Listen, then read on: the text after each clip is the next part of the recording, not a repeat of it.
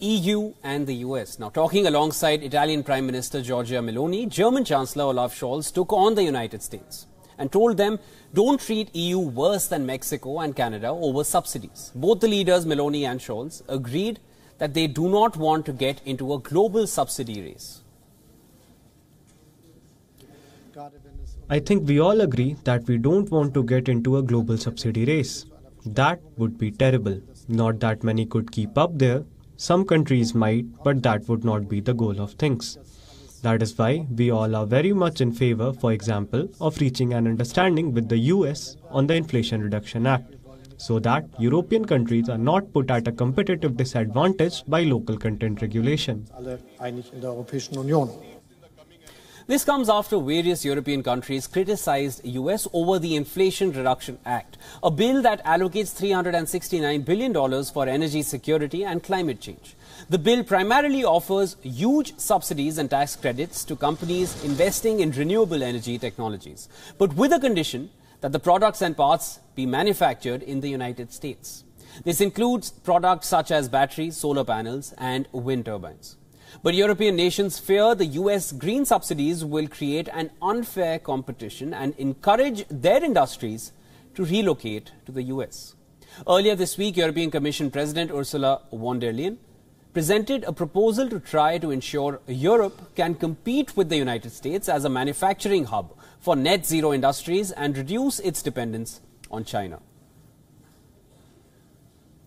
We have since long argued that the fight against climate change is a must, a must for our planet, a must for our economic prosperity, and a must for our strategic independence. We are competitive. We need competition.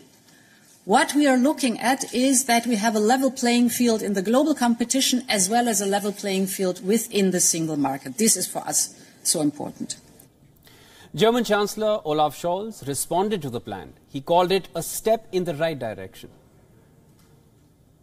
For me, the debate on the Inflation Reduction Act is also an incentive for us Europeans to keep reviewing how we can further improve the conditions for investment here at home. EU Commission President Ursula von der Leyen has made important proposals in this regard, all of which go in the right direction.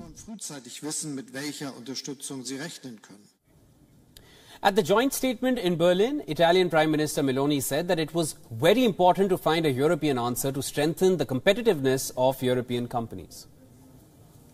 Eh, of course, it is also very important for us to find a European answer very quickly in order to strengthen the competitiveness of our companies.